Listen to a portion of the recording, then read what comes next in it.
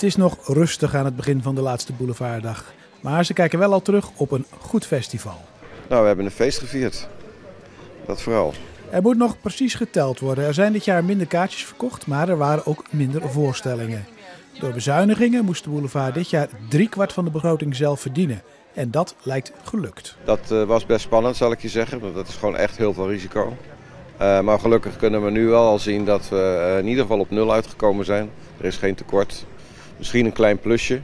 Maar dat betekent eigenlijk dat we met veel minder subsidie toch de begroting rond hebben gekregen. Ja, dit is uh, okay. Kapperstheater. oh, gaaf. Lekker luchtig. Fabian Jansen stond dit jaar op de boulevard met zijn voorstelling Never Never Wonder. We hebben er nu tien gespeeld en uh, tien uitverkocht. Dus het was, uh, het was een goede boulevard voor ons.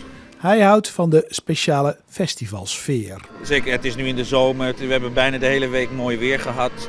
Dus daardoor is er al een soort extra verliefdheid, een extra kriebel richting de kunsten en het theater.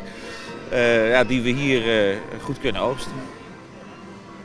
En een uh, vaste act op de boulevard, dat zijn de toiletten hier. En dit jaar hebben ze er een cruiseschip van gemaakt waar je voor 50 cent mee mag varen. En we proberen tenminste zoveel mogelijk naar de zin te maken. En we zetten daarvoor alle hens aan dek. En uh, ja, dan 50 cent voor een mini-cruise waar je helemaal opgeknapt en opgelucht van terugkomt, is dan eigenlijk geen geld. Hè?